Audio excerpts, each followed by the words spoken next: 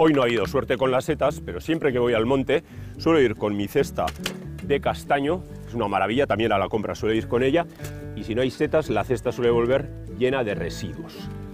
Por cierto, residuos de antaño que la gente tendía a echar en las zonas rurales muchos de los residuos eh, de la casa y también residuos actuales de gente deportista que usa el monte y se comen barritas energéticas, pero el envoltorio de la barrita queda por ahí. O sea que hay que tener cuidado y hay que respetar el entorno y sobre todo la mierda. Para eso tenemos tantos contenedores. Por favor, meterosla en el bolsillo y llevarosla hasta algún sitio. Bien, hoy he encontrado recipientes antiguos completamente oxidados, sin tapa, sin culo que diga, este en concreto, pero que tienen un encanto y tienen un potencial estético que hay que saberlo mirar, hay que mirarlo todo con ojos bonitos. Y ya veréis, esto nos inspira el briconsejo que vamos a hacer hoy de jardinería.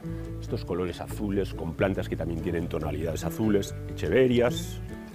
Ya teníamos parte del trabajo avanzado y fijaros, siguiendo más o menos esas tonalidades verde azulosas de este recipiente completamente oxidado, yo ya tenía unos cuantos, eh, porque una de mis pasiones es, siempre que voy a mercadillos, coger todos los recipientes antiguos que tengan algo de encanto, ¿no? Eh, de cocina, recipientes de cocina. Entonces, este va a ser el bodegón.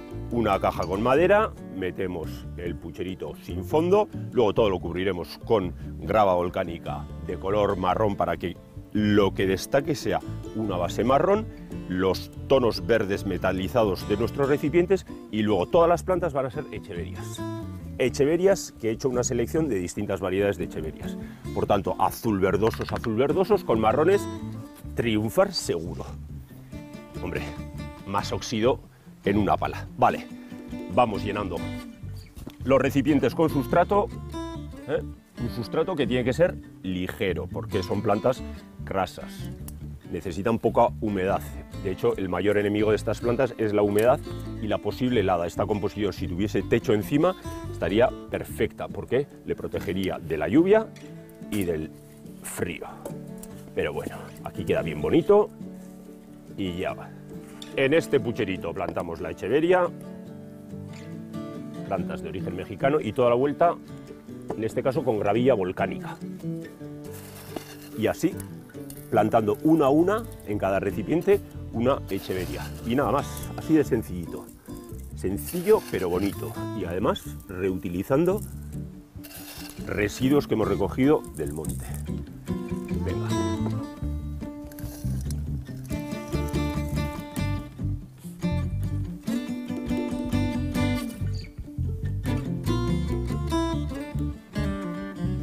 Como me gusta hacer estas cosas, la verdad es que quedan súper bonitas. Y ya veis, una composición que la podéis poner en cualquier rinconcito de la terraza.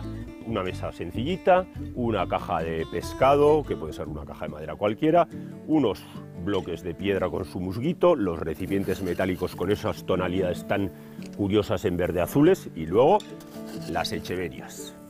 Aquí un senecio y aquí eh, esta otra planta crasa, pequeñita y ya está, bien orgulloso que me voy. Y aquí os dejo a disfrutar de esta composición tan elegante y tan bonita. Nos vemos.